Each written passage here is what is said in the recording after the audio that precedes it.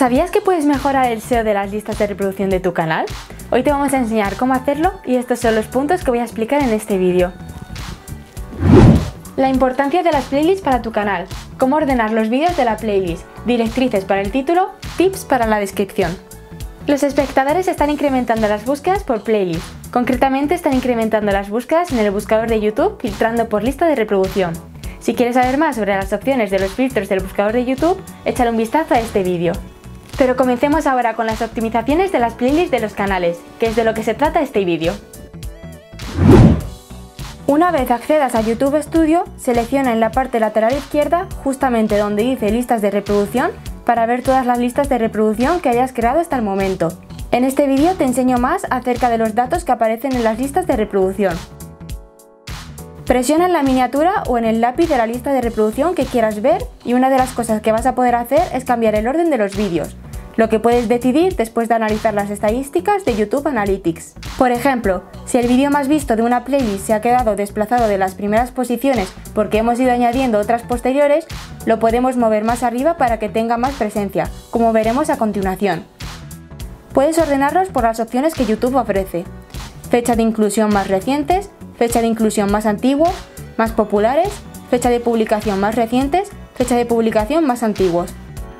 En el móvil es muy similar como estás viendo y por defecto te sale la opción manual para que lo puedas ordenar como tú quieras, como vemos a continuación también en el ordenador.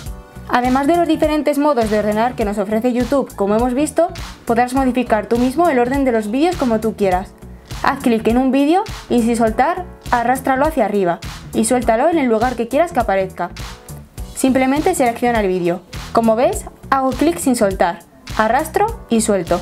El orden que dejes será el orden en el cual se van a reproducir cada uno de los vídeos cuando alguien haga clic en la lista de reproducción. Otra cosa que puedes hacer desde aquí es agregar un título y una descripción a tu lista.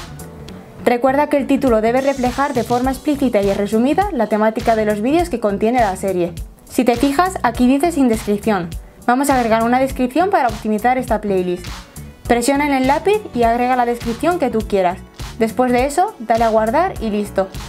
Te aconsejo que tu playlist contenga en su descripción un párrafo inicial que resuma la temática común que tienen los vídeos que conforman la lista, un párrafo informativo que describa más ampliamente el contenido común de los vídeos e incluso puedes enumerar los vídeos y sus títulos con el link corto de compartir, y un pie con links a tu web o blog, tus redes sociales, etc. Las palabras más relevantes para el contenido del vídeo colócalas al principio del título y también al principio de la descripción ya que el algoritmo de YouTube tiene en cuenta el orden de las palabras en el título para su posicionamiento en las búsquedas, dando más relevancia a las que van primero. Ten en cuenta que el número máximo de caracteres para el título son 150 y para la descripción de tu playlist que son 5000. No debes sobrepasar ese límite, pero si no es necesario tampoco necesitas utilizar todo solo para llenar todo el espacio disponible. Tu lista de reproducción o playlist como se conoce en inglés ya está optimizada y lista para ser publicada. En el próximo vídeo vamos a tratar las formas en las que puedes promocionar tu playlist y opciones avanzadas de configuración. No te lo pierdas. Si te ha gustado este vídeo, no olvides suscribirte en la siguiente pantalla y activar la campanita para que YouTube te avise cada vez que subamos nuestros vídeos semanales.